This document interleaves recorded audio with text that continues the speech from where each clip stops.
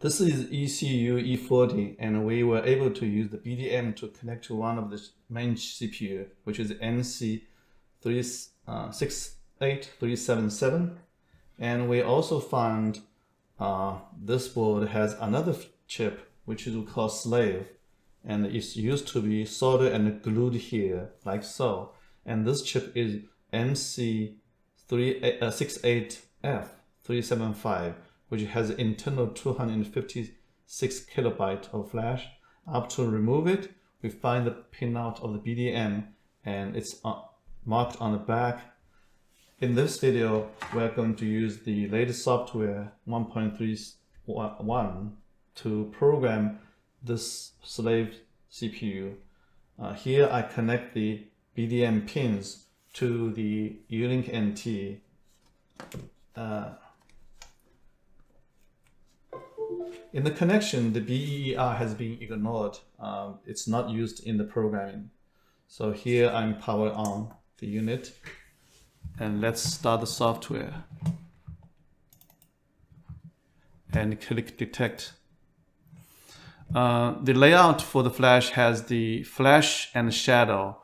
The 256 kilobyte is in the flash and it also has a 256 bytes of shadow memory and it will be automatically erased if you erase the block zero of the flash.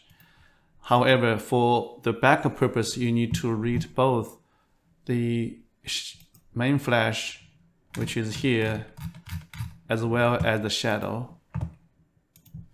So now we need to save the save both save called flash or main and this one as a shadow.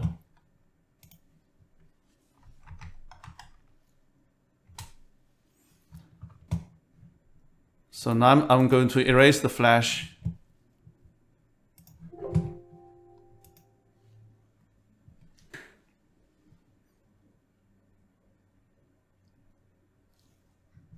So after flash erased, so now I can read back and make sure everything is empty. It is but you must notice the shadow is also empty as well. So both shadow and flash are empty. Let's initialize and initialize this thing and compare. So let's compare the flash, it's empty, and the shadow is empty as well. Now, if you want to order back uh, the pro put it back, let's load the shadow as well as the flash you have to program the flash first and shadow next unless you use a manual command S, S program. Here I'm showing you, I'm going to click this button to flash.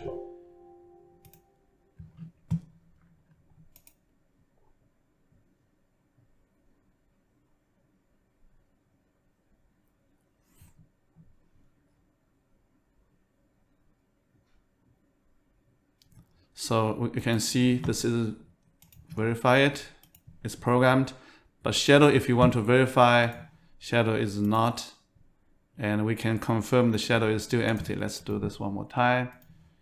Shadow is empty. So let's load the shadow again and then write to it.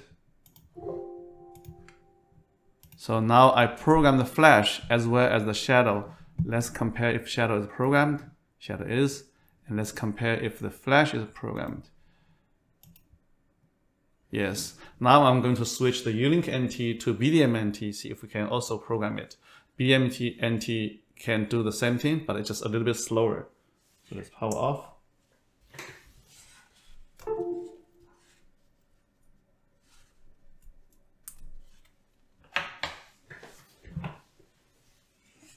So we first connect the ground on pin 3 and a reset pin which blue here on the pin 7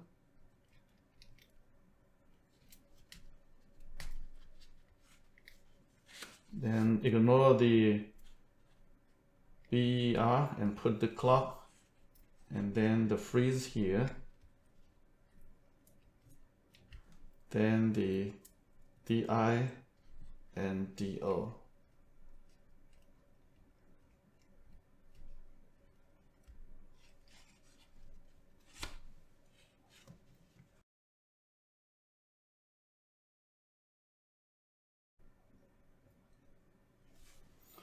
Okay, now I'm going to use the USB A to B cable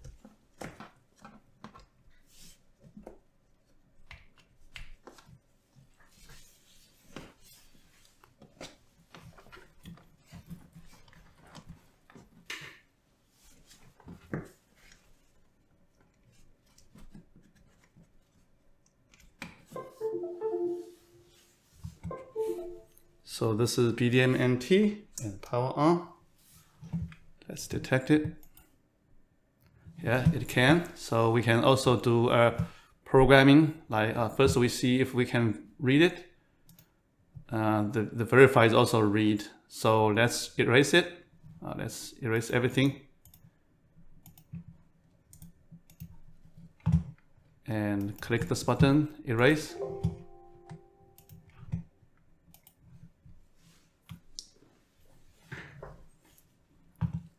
And now both flash and shadow are erased.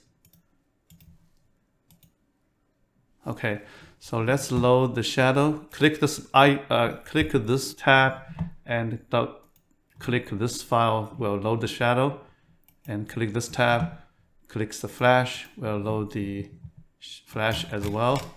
So now let's program the flash first. Always do this way.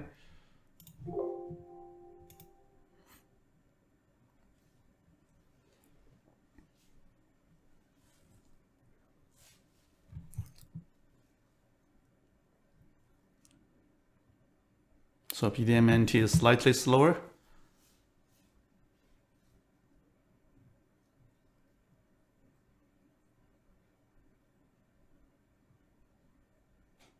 Okay, it takes 17 seconds versus um, the other one. How, how long does it take?